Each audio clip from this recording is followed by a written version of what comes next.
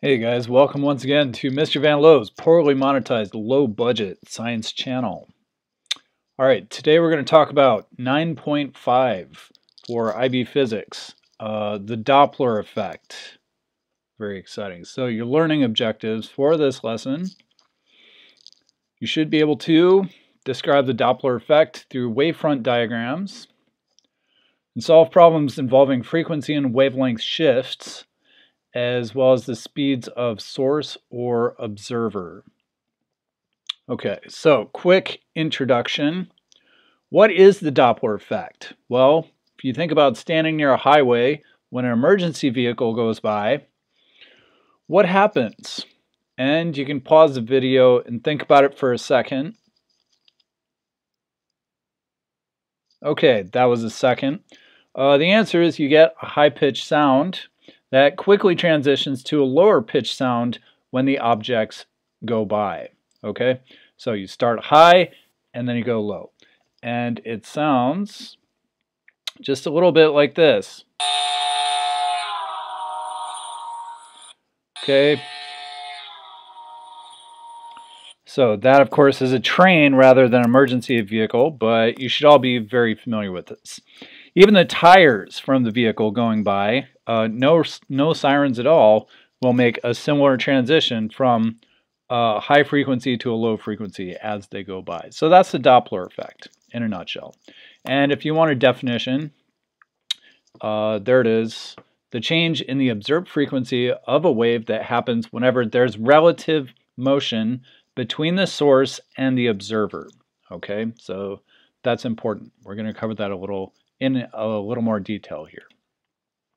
So here we have a diagram and you can see an emergency vehicle here. There's an ambulance and wave fronts are being emitted from the ambulance. Okay, so it's sitting here with its siren on and let's say the ambulance siren is a constant frequency.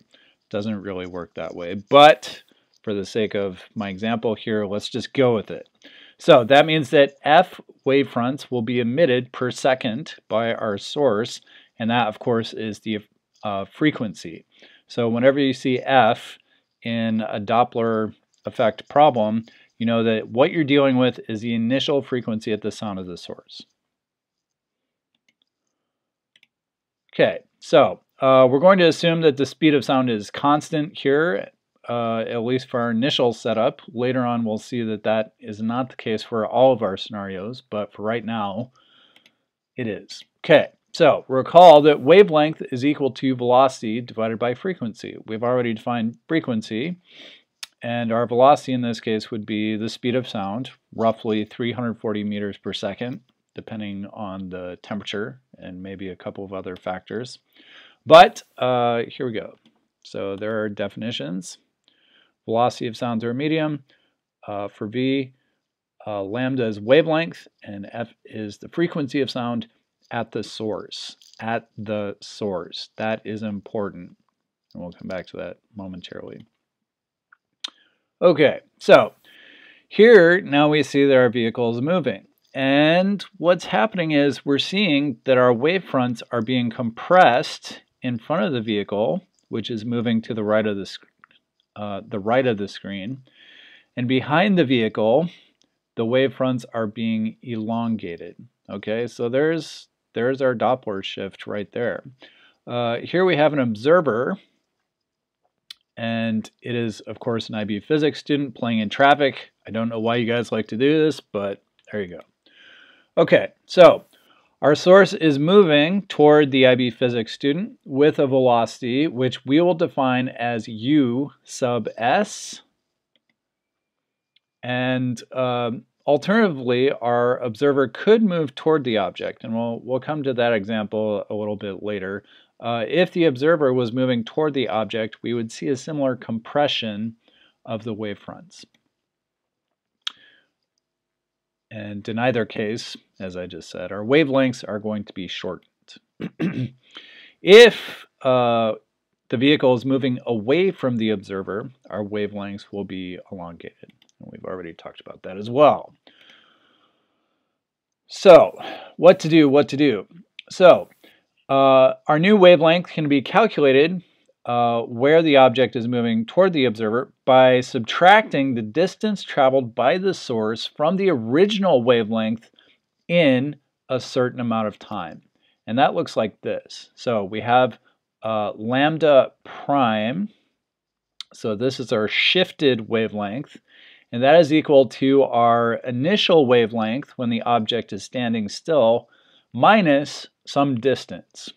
Okay, in order to find this distance, we need to determine this amount of time. And the amount of time is just equal to the period of the original wavelength. Okay, so we call that period t, no surprise.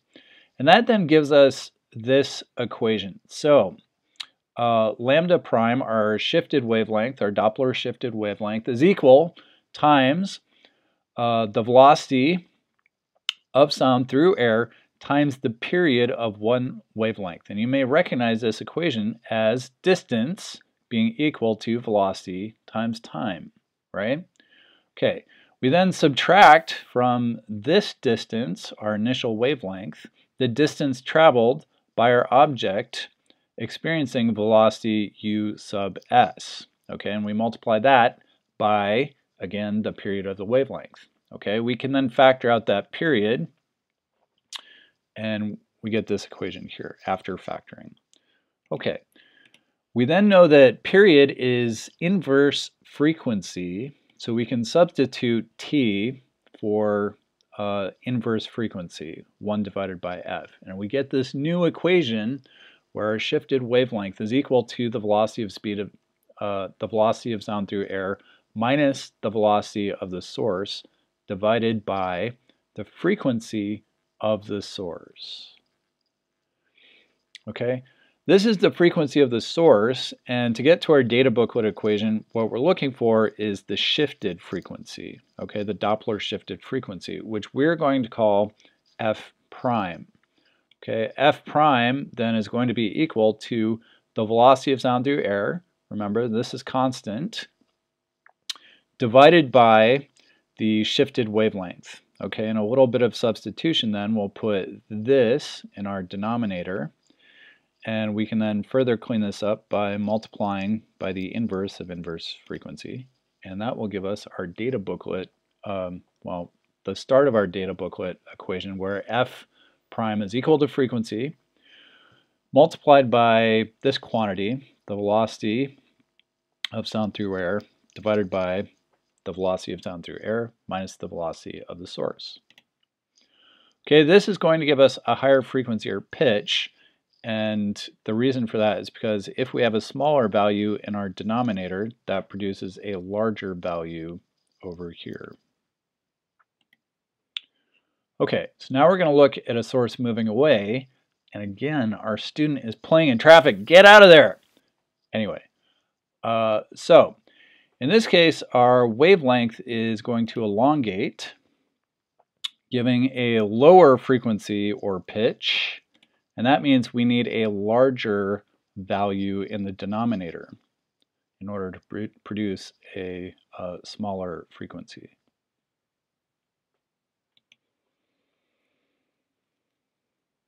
Okay, so when setting up problems, you need to decide if the pitch is going to be higher or lower. Okay, so the way to do that is actually pretty simple. You just think about your train. And think about whether or not the object is moving toward you or away from you. And if the object is moving toward you, you're going to have a higher pitch. If it's moving away, you're going to have a lower pitch. Pretty straightforward. So that then brings us to the equation that is actually in your data booklet. And it only says moving source, and then it gives you this plus minus sign. And that's where you have to decide if your frequency needs to be bigger or smaller. Remember, a larger frequency is going to require a smaller value in the denominator, so that means you need a minus sign. A smaller frequency, or a lower pitch, means that you need a larger value down here, so that means you're going to add. Okay, Doppler effect.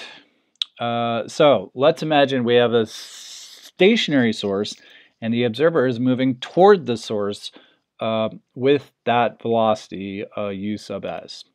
Now in this case, we're actually increasing the velocity of air through sound, okay?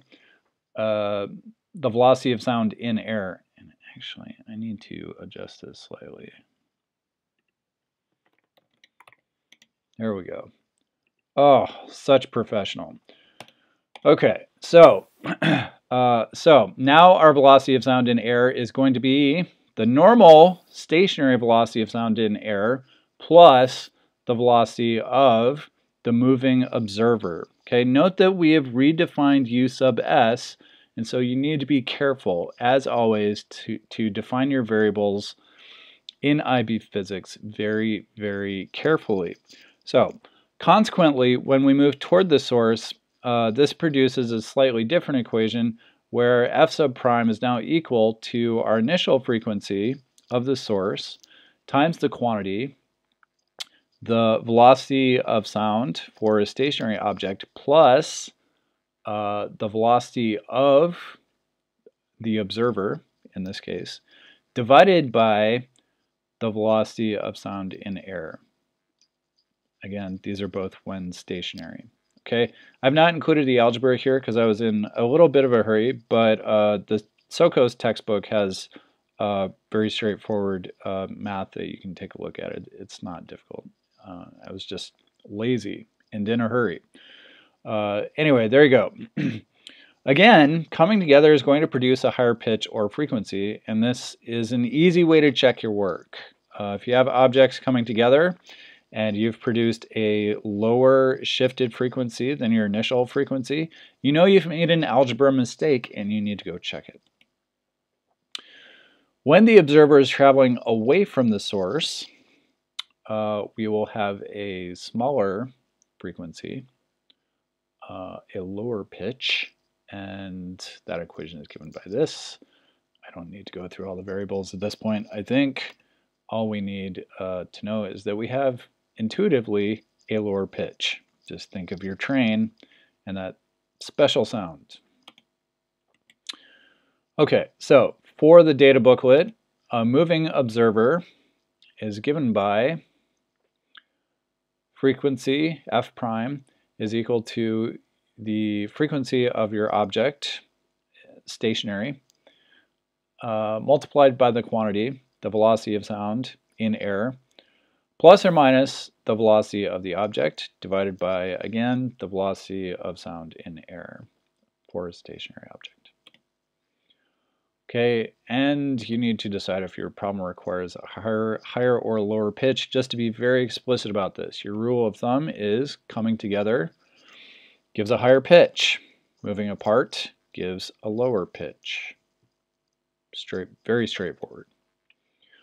Okay, for light, uh, things get a little tricky if you're moving at a very, very high velocity, um, a significant percentage of the speed of light. And in that case, uh, we would definitely have to include relativity in our calculation of our Doppler shift. I'm not actually sure if uh, the IB physics option covers that because there is an option for relativity and I need to look it over. I don't I don't teach that option, but maybe someday. Anyway, uh, for objects with lower velocities, we just use an approximation. And it looks like this, uh, where we have this delta f divided by f equals v divided by c approximately. And yeah, that's it. We, did, we don't need to talk about anything else, right? No, we need to define our variables. So let's do that. Um, v is equal to the velocity of the light source or observer in this case. F is a frequency of light emitted at the source. Uh, change in F is the apparent change in frequency, and C is the velocity of light. And since uh, velocity of light is equal to frequency times wavelength, it follows that our change in wavelength divided by our wavelength uh, at the source, uh, yes, will be equal to uh, the velocity of the object divided by the change in light. So there we go. Usually uh, what we're talking about here would be a star uh, possibly a planet uh, or light reflecting off a planet. Uh, there are a few scenarios you can imagine where this would be useful information. Uh, usually it's either a redshift or a blue shift. A redshift would be an object moving away from us. A blue shift would be an object moving toward us. Um, typically in astronomy, objects are redshifted because the universe appears to be expanding. Okay, um, but there are there are exceptions to that. Um, yes, so objects moving toward us have a blue shift. Yes, objects moving away show a red shift. I've already said that. Okay, your checkout. I can describe the Doppler effect through wavefront diagrams. We've covered that in some detail. Uh, you should also now be able to solve problems involving frequency and wavelength shifts and speeds of source or observer. And I recommend you try some practice problems at this time. This has been Mr. Van Loh's low budget, poorly monetized science channel. Uh, do not click like, do not click subscribe, and have a great day.